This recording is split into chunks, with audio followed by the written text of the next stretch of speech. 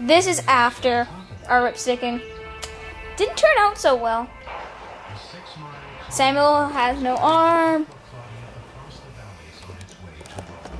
Domenico. You didn't find my arm, did you? No. Sorry.